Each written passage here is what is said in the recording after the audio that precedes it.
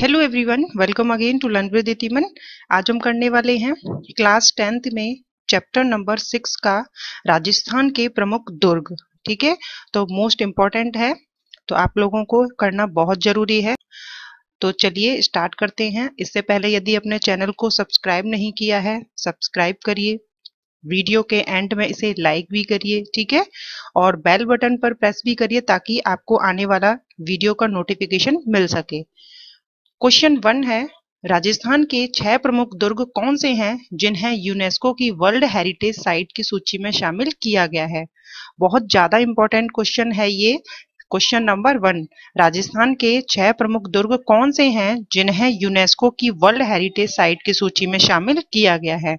तो यहाँ उन छह दुर्गों के नाम लिखे हैं। देखिए, आमेर का महल, गागरोन का किला, कुंभलगढ़ का किला, जैसलमेर का किला रणथम्बोर का किला और चित्तौड़गढ़ का किला। तो इन छह के नाम जो है वो आप याद रखिएगा। ऐसे दुर्ग जो जल से घिरे हों, वो क्या कहलाते हैं? ऐसे दुर्ग जो जल से घिरे हों, क्या कहलाते हैं? तो जल से गिरे हों तो यानी जल दुर्ग, ठीक है? जल दुर्ग कहलाते हैं, लेकिन इसका अन्य नाम भी है औदुक दुर्ग।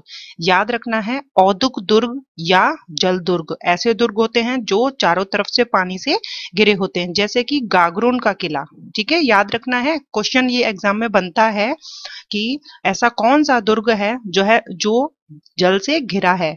तो आपको आंसर क्या करना है? गागरोन दुर्ग। ऐसे दुर्ग जो किसी ऊँचे पर्वत पर स्थित होते हैं, वो क्या कहलाते हैं? तो बहुत ऊँचे पर्वत पर जो स्थित होते हैं, वो गिरी दुर्ग कहलाते हैं। क्वेश्चन नंबर फोर देखिए, ऐसे दुर्ग जो मरुभूमि में बने हो, ऐसे दुर्ग जो मरुभूमि में बने हो, ऐसे दुर्ग क्या कहलाएँगे? तो ये कहलाएँगे धानवन दुर्ग, ठीक है? मरुभूमि में जो बने होते हैं, ऐसे दुर्ग क्या कहलाते हैं? धानवन दुर्ग कहलाते हैं, जैसे जैसलमेर का दुर्ग। तो इसका बहुत अच्छा उदाहरण है।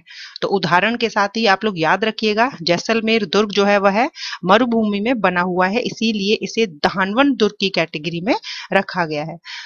क्वेश्चन नंबर फाइव देखिए, वे दुर्ग क्या कहे जाएँगे जो सघन बीहड़ वन में बने हो? वे दुर्ग क्या कहे जाएँगे? तो यहाँ पर देखिए, ऐसे दुर्ग वन दुर्ग कहलाते हैं और एग्ज़ाम्पल में है शिवाना दुर्ग, ठीक है? जो शिवाना दुर्ग, शिवाना या शिवाना दुर्ग। तो ये बीहड़ वन में बना हुआ है। क्वेश्चन नंबर सिक्स है, ऐसे दुर्ग जिनके चारों ओर खाई, कांटे और पत्थर तो ऐसे क्या कहलाएँगे? ऐसे दुर्ग जिनके चारों ओर खाई है, कांटे व पत्थर, इनसे होकर इस दुर्ग में पहुँचा जा सकता है तो ऐसे दुर्ग कहलाएँगे एरण दुर्ग। क्या कहलाएँगे? एरण दुर्ग, जिसमें चित्तौड़गढ़ का दुर्ग, जालोर का दुर्ग जो है, वह प्रमुख है, क्योंकि इनके चारों ओर क्या है? खाई भी है, कांटे और पत्थर भी हैं, ठीक है? जिसके चारों ओर केवल क्या हो? खाई हो। जिसके चारों ओर खाई हो तो ऐसे दुर्ग क्या कहलाते हैं?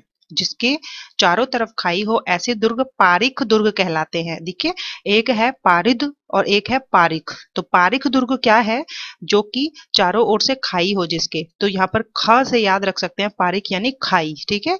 तो जैसे भरतपुर का दुर्ग है, बीकानेर का, जूनागढ़ का किला है तो ये सभी खाई है इनके चारों तरफ़। तो ऐसे दुर्ग पारिक दुर्ग में आते हैं। नेक्स्ट है, जिन दुर्गों के चारों ओर बड़ी बड़ी दीवारों का परकोटा हो। सुरक्षा की जो चार दीवारी होती है, जिन दुर्गों के चारों ओर हो, ऐसे दुर्ग क्या कहलाते हैं? तो जो दीवारों के परकोटे से घिरे होते हैं तो ऐसे दुर्ग कहलाते हैं पारिद दुर्ग, ठीक है? अभी हमने देखा पारिख दुर्ग, वह जो चारों ओर से खाई से घिरा होता है, भरतपुर का और बीकानेर का, जूनागढ़ का किला। तो वो पारिक दुर्ग में आएगा और पारिद दुर्ग में आएगा चित्तौड़गढ़ का दुर्ग। ऐसा कौन सा दुर्ग है जिसे गिरी दुर्ग पारिक दुर्ग और एरण दुर्ग भी कहते हैं? यानी ऐसा दुर्ग जो कि किससे घिरा हो जिसपे ऊँचे पर्वत पर स्थित हो ऐसा दुर्ग, और जिसके चारों तरफ़ खाई भी हो, और जिसके चारों ओर कांटे भी हों, पत्थर भी हों तो ऐसा दुर्ग कौन सा है ऐसा है, चित्तौड़गढ़ का दुर्ग, ठीक है? तो ये तीनों प्रकारों में आएगा, इसे गिरी दुर्ग भी कहेंगे, पारिक दुर्ग भी कहेंगे और एरन दुर्ग भी कहेंगे। तो चलिए एक बार दोबारा से रिवाइज कर लेते हैं कि हमने कौन कौन से दुर्गों के बारे में पढ़ा है। सबसे पहले हमने उन छह दुर्गों के बारे में देखा, आमेर का महल, गागरोन का किला कुंबलगढ़ का किला, जैसलमेर का रणथम्बोर का और चित्तौड़गढ़ का किला, जिसे कि यूनेस्को ने वर्ल्ड हेरिटेज साइट की सूची में शामिल किया। ठीक है? उसके बाद हमने देखा कि जो चारों तरफ़ से जल से गिरे हों, वो औदुक दुर्ग या जल दुर्ग कहलाते हैं, गागरोन का किला है जैसे। उसके बाद हमने देखा कि ऊँचे पर्वत पर स्थित गिरी दुर्ग कहलाते हैं। और ऐसे जो मरुभूमि में बने हों, वो धानवन धानवन दुर्ग कहलाएँगे, जो सघन बीहड़ वन में बने हों, वो वन दुर्ग कहलाएँगे। और जो चारों तरफ़ से खाई, कांटे और पत्थर से घिरे हों, ये एरण दुर्ग कहलाएँगे। और लास्ट में हमने देखा कि जो केवल खाई से, जिसके चारों तरफ़ खाई हो तो ऐसे दुर्ग कहलाएँगे पारिक दुर्ग, जिसमें एग्ज़ाम्पल था भरतपुर का दुर्ग और बीकानेर का जूनागढ़ का किला। चित्तौड़गढ़ दुर्ग को किसने बनवाया? तो सभी लोग जानते हैं, बहुत बार कर चुके हैं हम, कि चित्तौड़गढ़ के दुर्ग का निर्माण कराया। राजा चित्रांग ने, ठीक है? कहीं पर चित्रांगद भी मिलता है। तो वीर विनोद के अनुसार मौर्य राजा चित्रांग ने चित्तौड़गढ़ के दुर्ग का निर्माण करवाया। चित्तौड़गढ़ दुर्ग पर अधिकार करके अलाउद्दीन खिलजी ने इसका नाम बदलकर क्या रखा था? तो इसका नाम बदलकर रखा था खिजराबाद, ठीक है? खिजराबाद नहीं, खिजराबाद जो है वह नाम रखा था अलाउद्दीन खिलजी ने, ठीक है? किसको पराजित करके? किसको पराजित किया था? ये आप कमेंट बॉक्स में बताइएगा। अलाउद्दीन खिलजी ने किसे पराजित किया था जब चित्तौड़गढ़ दुर्ग पर अधिकार किया था? चित्तौड़गढ़ दुर्ग किस पठार पर स्थित है? तो यह दुर्ग जो है, वह मेसा के पठार पर स्थित है। नेक्स्ट है थर्टीन क्वेश्चन सभी किलों का सिरमोर किस किले को समझा जाता है? सिरमोर यानी ताज। तो सभी किलों का सिरमोर जो है, वह समझा जाता है चित्तौड़गढ़ के किले को, ठीक है? याद रखना है, चित्तौड़गढ़ के किले को ही सभी किलों का सिरमोर समझा जाता है। नेक्स्ट क्वेश्चन फोर्टीन चित्तौड़ के किले में कितने साके हुए जो प्रसिद्ध माने जाते हैं? तो यहाँ पर हम उन तीन साकों के बारे में देखेंगे जो कि चित्तौड़गढ़ के किले में हुए थे।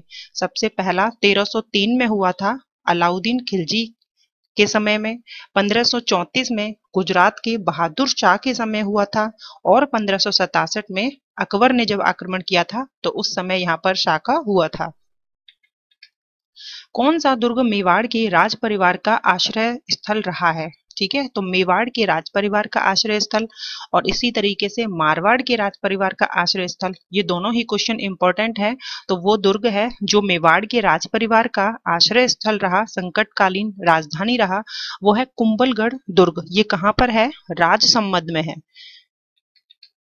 कुंबलगढ़ दुर्ग का प्रमुख शिल्पी कौन था? कुंबलगढ़ दुर्ग का निर्माण राणा कुंभा ने करवाया था। तो इस दुर्ग का शिल्पी था मंडन। ठीक है? बहुत बार ये क्वेश्चन पूछा गया है आपका सेकंड ग्रेड में फ़र्स्ट ग्रेड में। कोई कुंभलगढ़ दुर्ग का प्रमुख शिल्पी कौन था? मंडन। कुंभलगढ़ दुर्ग की दीवार कितने किलोमीटर लंबी है?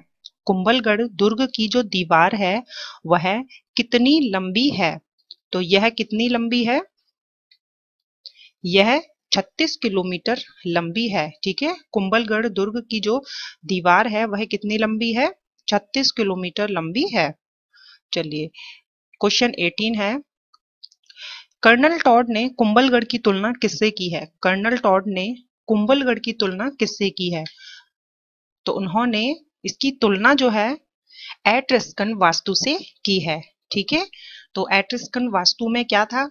ये लोग आप आप बताइएगा इसका आंसर, क्योंकि चैप्टर हम इसीलिए पढ़ते हैं ताकि हमें इन सब चीज़ों के बारे में पता हो, ठीक है? तो यहाँ मैं बिल्कुल नहीं बताऊँगी आपको कि कर्नल टॉड ने कुंभलगढ़ की तुलना एट्रिस्कन वास्तु से की थी।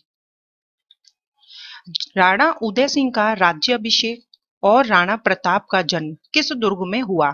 ठीक है? मोस्ट इंपॉर्टेंट है, पूछा जा सकता है अलग अलग कि राणा उदय सिंह का राज्य अभिषेक जो है वह किस दुर्ग में हुआ था? या राणा महाराणा प्रताप का जन्म जो है वह किस दुर्ग में हुआ था? तो कुंभलगढ़ दुर्ग में हुआ था। और यह कुंभलगढ़ दुर्ग जो है वह कहाँ है?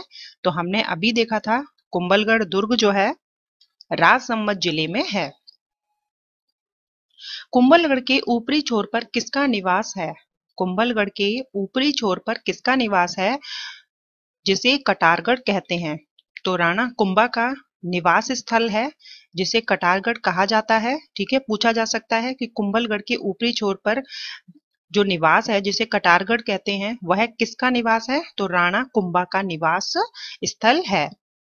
और देखिए, एक लाइन है कि अबुल फजल जो है, उन्होंने कुंबलगढ़ की जो ऊंचाई है, इसके बारे में क्या लिखा कि यह इतनी बुलंदी पर बना हुआ है कि नीचे से ऊपर की ओर देखने पर सिर से पगड़ी घिर जाती है, ऐसा दिखाई प्रतीत होता है। ठीक है? तो चलिए, आज हमने 20 क्वेश्चन किए हैं। सभी 20 क्वेश्चन जो है, मोस्ट इंपॉर्टेंट है। एक भी क्वेश्चन आप नहीं छोड़ सकते हो, आपके एग्ज़ाम में। इनमें से एक प्रश्न जो है, वह आएगा। चलिए नेक्स्ट करते हैं हम नेक्स्ट वीडियो में जब हम रड थम्बोर दुर्ग की बात करेंगे। मिलते हैं। Thank you